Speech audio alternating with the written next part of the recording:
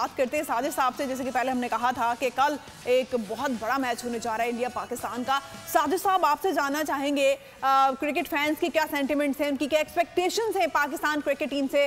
वो तो हमने जान लिया लेकिन बीइंग द क्रिकेट एक्सपर्ट आपकी क्या सजेशन हैं? क्या एडवाइजेस हैं कल के मैच को लेके? अहमदाबाद का जैसे मौसम है, बताया जा रहा है, बहुत गर्मी है हब्स भी है।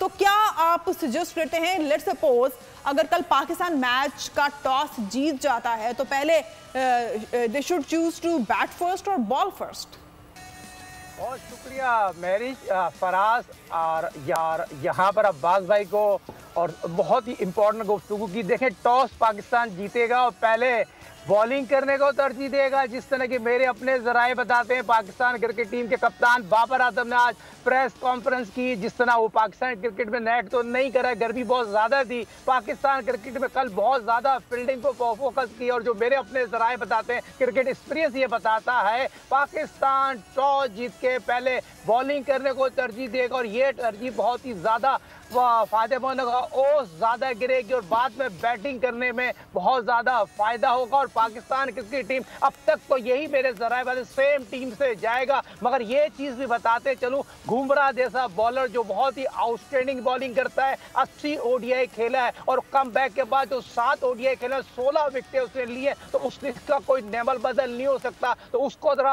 अच्छा खेलना पड़ेगा संभल के खेलना पड़ेगा। तो मैं पाकिस्तान क्रिकेट टीम से बहुत ज़्यादा ज़्यादा शेप में नज़र आता मगर शाइन शाह आफरीदी ने जिस तरह बात की अपने सूसर से, बहुत कॉन्फिडेंस नज़र आ रहे हैं। उन पर ड्यू हो गया, उनको बॉलिंग करके पाँच विकेट लेनी है। हारिस की बात करूँ, और यह पाकिस्तान की इन बॉलिंग मैच जिता सकती है। अगर बॉलिंग ने कल अटैकिंग क्रिकेट खेली, और जिस तरह फराज ने पैकेज बताया था, एक जो पाकिस्तान उनके दरमियान जो मैच खेले गए, वो ओडीआई के बाद वर्ल्ड कप में अब तक इंडिया ने सात मैचेस खेले हैं तो सात को सात जीते ये 11 साल बाद पाकिस्तान इंडिया के मैच हो रहे हैं। 11 साल का तवील इंतज़ार के बाद ये फाइनल से पहले फाइनल की तैयारी है। इसकी लमाज इसके जज्बात में आपको बयान नहीं कर सकता। सौ अरब के लोग दुनिया भर में इस मैच को सुपरवाइज करेंगे। No doubt, no doubt. आपने अपने से तमाम लोग अपने जश्न बना रहे हैं और जश्न यकीनी तौर पर आपको दिन बहुत इंपॉर्टेंट है टॉस विन मैचेस बहुत इंपॉर्टेंट है और बाबर पे जिस तरह आज कॉन्फिडेंस मैंने देखा है, जिस तरह सुबह मैंने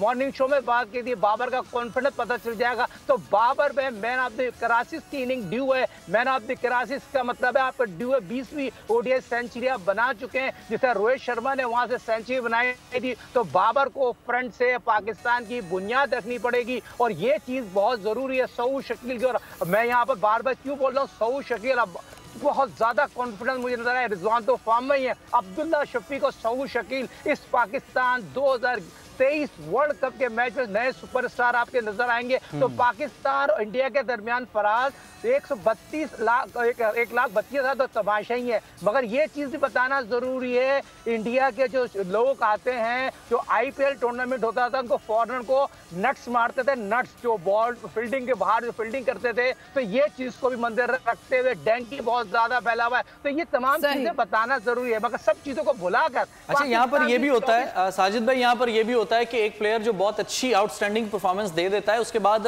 फिर उसे इतनी ज़्यादा तवक्कुआत लगा दी जाती हैं कि वो थोड़ा सा कंफ्यूज जो है खतरा हो जाता है। अब्दुल्ला शफीक की मैं बात कर रहा हूँ। एग्जैक्टली बिल्कुल। सब्सक्राइब करें और बेल दबाएँ ताकि कोई खबर रह न जाए।